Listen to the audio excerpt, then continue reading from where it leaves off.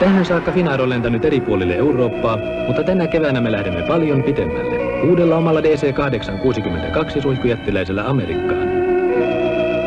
Joka arkipäivä Kööpenhaminan ja Amsterdamin kautta New Yorkiin ja takaisin. Hei Olavi, Hmm. sä et sitten arvaa, miten onnellinen mä olen. Kun sulla on noi värilliset kalsaritkin. On helppo vaatia puhtautta puolin ja toisin, kun Hyvon on tuonut värikkäät Banlon kolorit. 75, 76, 77, 78. Pannaan takaisin. Mä halusin vaan tarkistaa. Palvelupankki on aina palvelupankki. Katarol Katarille, tosi vahva pastilli. Katarol, kataruusi. Siinä maku aivan uusi. Katarol, katarassa.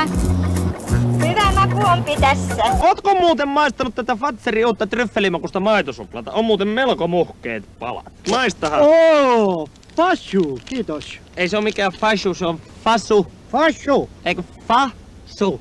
fassu. Sä käytät aivan liikaa tätä suhuessa. Se on vah niinku Fatser ja su niinku suklaa.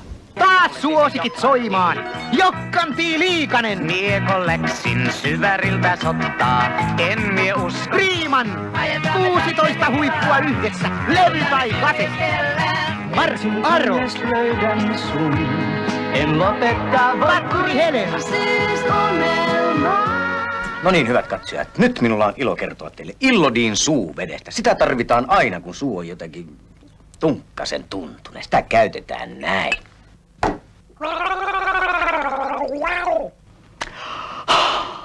Ja suu on laakista raikas. Suoritamme Illodin kokeen. Terkut sille ihanalle kundille, kun meni Oulun samassa junassa kuin mä. Oot ihan Viktor Kalborikin näköinen, jäi mulle kauhean ikävä. Tulit lähelle ja annoit mulle suklaata. Siinä oli nukata ja oli marmelaadia. Niin hyvä oli, että ihan sukatöri jalassa.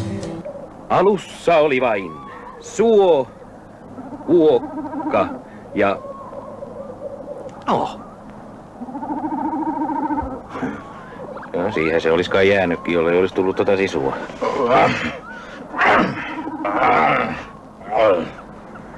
Sisu.